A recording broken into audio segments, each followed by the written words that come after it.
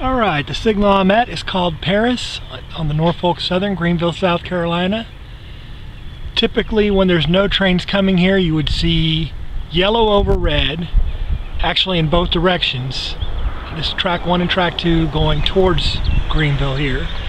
So, green over red, usually only see that if there's a train coming and they're basically giving that train clearance to go through this light at full speed. A few minutes ago, track uh, 2, where it's green over red now, was yellow over yellow, which would allow them to go through this signal at 35 miles per hour, I believe, and the next signal at 35 miles per hour. The top signal being the signal you're at, the bottom signal being to telling you what to expect at the next signal.